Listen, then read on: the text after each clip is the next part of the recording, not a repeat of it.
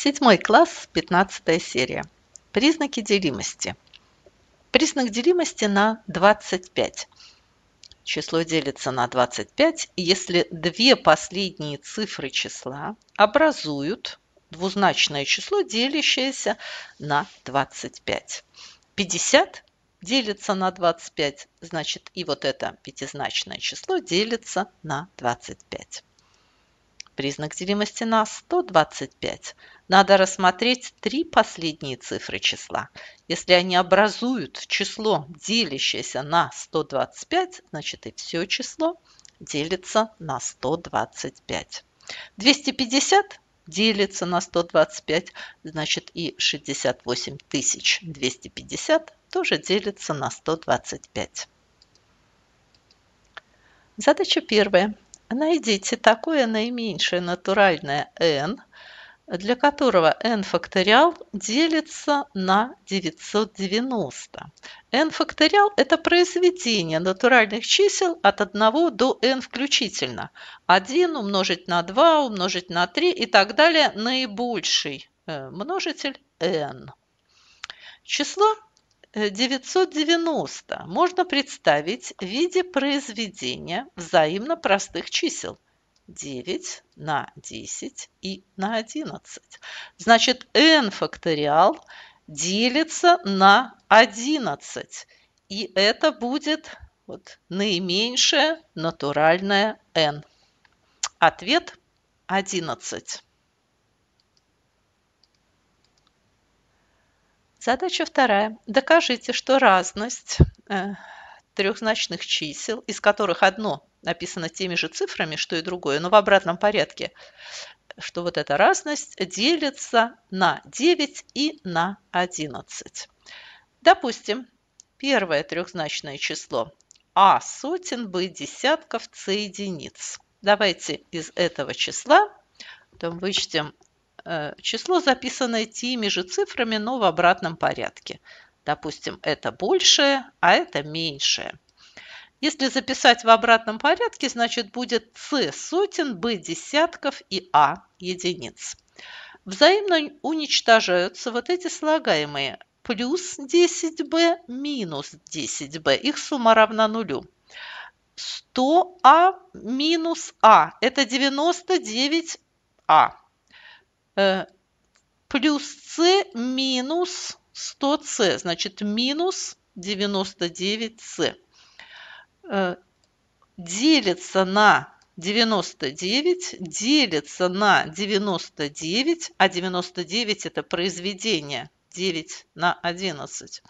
Значит, их разность тоже делится на 99. Значит, разность будет делиться и на 9, и на 11. Неравенство с параметром. Давайте решим э, неизвестное x, параметр а. Давайте представим неравенство вот в таком виде. То есть вот это слагаемое надо перенести из правой части неравенства в левую. Затем выносим за скобки x. Получаем множитель э, перед x 5 минус а.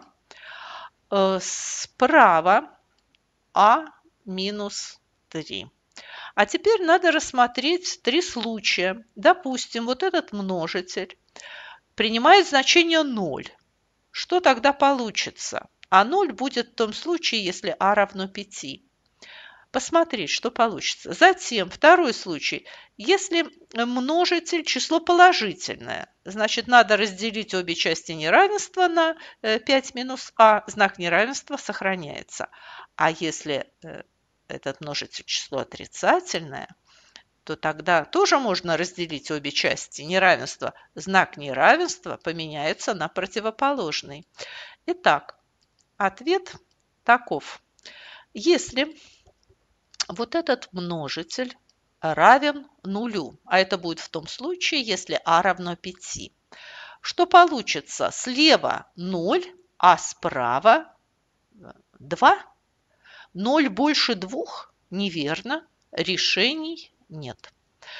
Так, если 5 минус а больше нуля, а это будет в том случае, если а меньше 5, делим, получаем ответ. X больше, чем а минус 3 делить на 5 минус а. Если вот этот множитель число отрицательное, то есть а больше 5, э, делим обе части неравенства знак меняется на противоположный. x меньше, чем а минус 3 делить на 5 э, минус а. Так вот, ответ записывается вот таким образом. Три случая рассматриваются.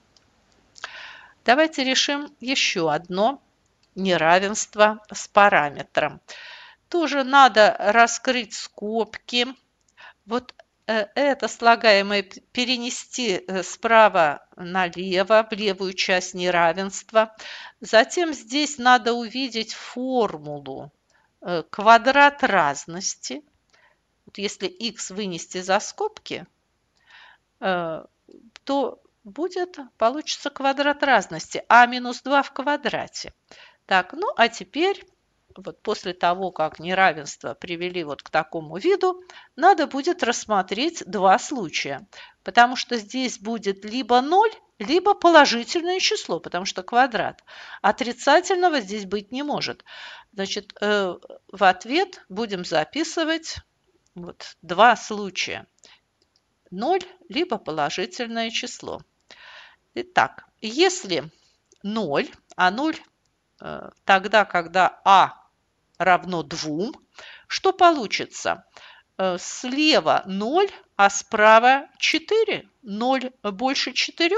Неверно. Решений нет. Так, если а принимает э, любое другое значение, вот кроме двух, после возведения в квадрат получится положительное число можно разделить обе части неравенства на положительное число, знак неравенства сохраняется. И получаем ответ. Итак, ответ записывается вот таким образом. Рассматриваются два случая.